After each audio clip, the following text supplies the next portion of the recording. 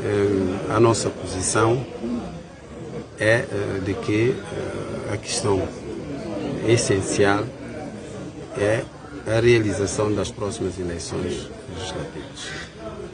E como eu já dizia, estamos no momento em que a ANP eh, está dissolvida e é da ANP que nasce a CNE.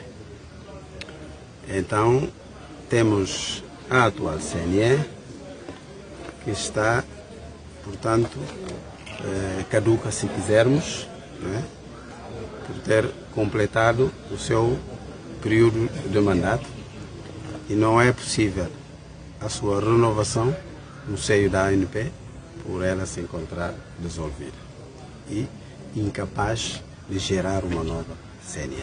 Essa aqui é a grande verdade. Perante esta grande verdade e tendo em conta a necessidade de realizar as eleições, temos a única via, que para a PU é a via mais, portanto, eh, realista e que se enquadra na lei, é de continuarmos com a atual CNE. Ou seja, que o Secretariado Executivo da CNE está em exercício e a lei diz que ela está em exercício até que chegue e seja validada o novo, validado o novo secretário executivo saído da ANP nova. Nessas circunstâncias, temos que poder fazer, portanto, valer essa lei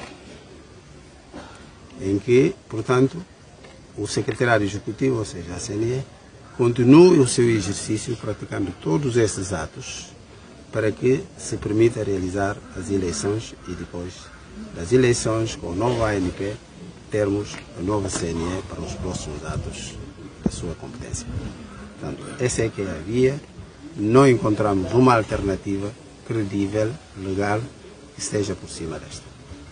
Obrigado.